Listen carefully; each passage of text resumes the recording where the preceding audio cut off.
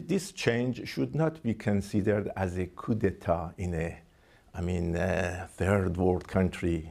I mean, so this is the image of American, the responsibility of American, whether when they come to a deal, when they promise, and when they, uh, uh I mean, uh, commit themselves uh, to a deal. This is something that the others, the other presidents and the next president should do it. So uh, we know, we acknowledge the President of the United States and this administration for uh, implementation of this deal, and I think that uh, it, it's also important for them not to give such an image of themselves. According to Secretary Kerry from the United States, at least there are 50 to 100 billion US dollars of uh, frozen funds should be, in a way, uh, provided to Iran as a result of this deal. How much has been done already? We have these assets, but the problem is that uh, transferring in the banking system is not totally possible United States and the other parties should do, I mean, their commitments.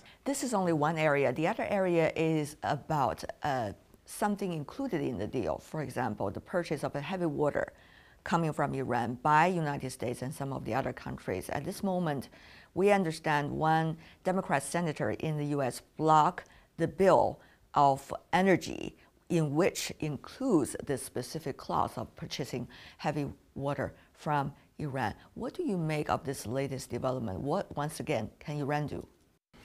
Really, uh, we think that uh, the government of United States is responsible for carrying out this deal. Uh, but uh, unfortunately, there are uh, still there are some circles in United States that try to blockade and not to permit that uh, this deal can be implemented.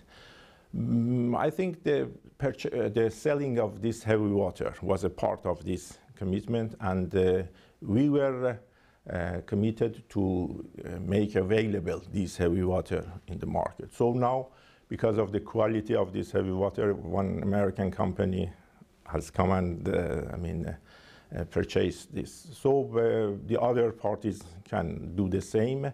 But uh, I think this is the responsibility of the government, of the, I mean, U.S. administration, to solve the internal problems and to manage these differences. But what about internal reactions from your own country? I mean, after all, this is considered to be one of the biggest deals for decades for Iran. Uh, and people are expecting funds to be unfrozen, more interactions with the rest of the world, more business opportunities. What would this rather slow process of implementation mean for your domestic constituency? Despite all these expectations from the, um, the negotiation team and uh, the normal expectation of the people that they should feel the I mean, tangible results of lifting of sanctions. Um, I think uh, in our people there is such an understanding that uh, they give this time and opportunity, whether the other parties, especially United States, is a, I mean, credible party that uh, in the future you can rely on its uh, um, agreements. After more than 10 years of Iran being cut off from the rest of the world uh, by sanctions, this is going to be a very slow process at the very beginning. But I would also assume, when looking at politics elsewhere, this would mean certain pressure for both uh, your president, who has been very vocal in the negotiation, and also for the foreign ministry, uh, who have been, including you yourself, Mr. Vice Minister, and with Mr. Minister, uh, working very hard over the years for this deal. Eventually, the negotiation was done by you guys. So, what would that mean politically, pressure? If we consider as a whole this process, I think uh, before we come to a, I mean, final judgment, it's better to give time whether all the pressures, encouraging of the other countries, and the credibility of the countries in keeping their promises works or not. But I'm sure that uh, Uh, even in the United States, uh, uh, there is a tendency, there are some tendencies that uh, to not to allow these uh, pressure groups or some hardline circles to, I mean, overcome or to show that, to prove that diplomacy does not work. Mm, very interesting. The nuclear development, of course, in Iran earlier has a lot to do with how Iran sees its own security and also its own economic development. But of course, after the agreement was signed, Iran should carry out its own commitment. On the other hand, the question has arisen, which is how Iran is going to have a new set of strategies to guarantee its security in the future, not only in the region, but also globally as well. Mm, I think that uh, the uh, issue of security for uh, defining our nuclear program was a fabricated one. I mean, they tried to show that Iran pursuing a military one, but it was not correct. Exactly at the end, they came to this conclusion that we had a peaceful one.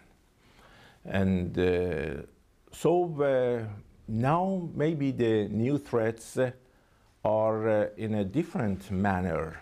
Now extremism and terrorism are threatening the security of the world. So we need a collective effort for fighting against terrorism and extremism. Mm, uh, I think that uh, mm, now uh, Iran has shown that even when it had uh, its own nuclear program, it was something related to, to the economic development it was something that uh, returned to uh, Iranians uh, feeling that sometimes they have to stand on their own feet. They need a kind of independence and self-reliance in very important uh, and, and, sensitive issues. And uh, sometimes, as you at the beginning of our interview, the reaction of some countries to these to this deal, maybe it proves that uh, still Iran needs further guarantees from the other sides for, I mean, uh, entering to some security arrangements. But uh, we have uh, carried out an, uh, stand, a stand and position that we think that legitimacy comes from our people when the people of a country are supporting their own uh, government. It's the best guarantee for their security.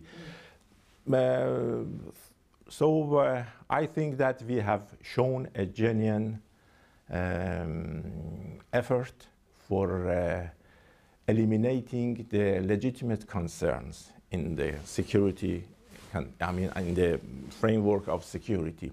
The Iran agreement was considered a very successful one after a long time of negotiations. And many compare that, even though there are so many differences, with what's going on now on the Korean Peninsula, uh, the nuclear crisis. From your perspective, how did you see these two case studies? What can be some of the things that you and other partners achieved can be of inspiration for the other case study? It's very difficult to, I mean, compare the cases exactly, but uh, I think as a whole, it's important that we give this opportunity for talks and dialogue. This is very important. Uh, at least in the Iran nuclear program, it worked. And we hope that uh, by uh, full implementation of this uh, deal, everybody, uh, I mean, completely feels that it works. This is something, this expectation. But uh, we need really a world free of uh, nuclear weapons. This is something that uh, we pursuing, and we. This is our policy that in all parts of the world we need to get rid of nuclear um, weapons, uh, as well as um, the external intervention. We think that sometimes and always, this is our policy, that uh, external intervention makes the situation more complicated. And uh, we need uh, that uh, to stop these types of in, in, interventions, or that some countries uh, think that they have the right to intervene in any parts of the world.